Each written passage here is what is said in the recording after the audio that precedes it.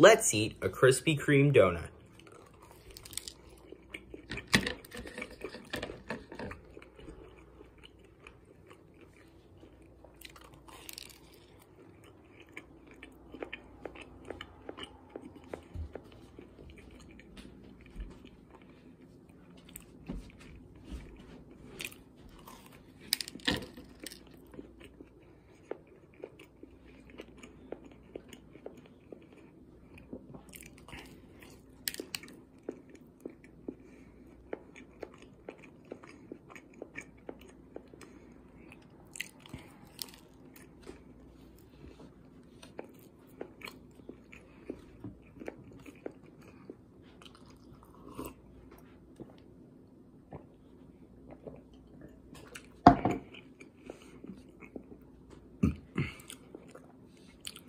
That was good. 10 out of 10. Bussin'. Until next time, tune in for more food reviews.